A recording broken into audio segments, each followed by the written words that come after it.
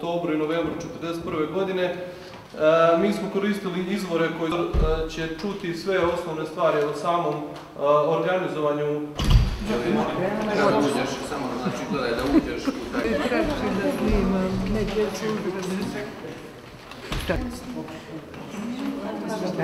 ovo.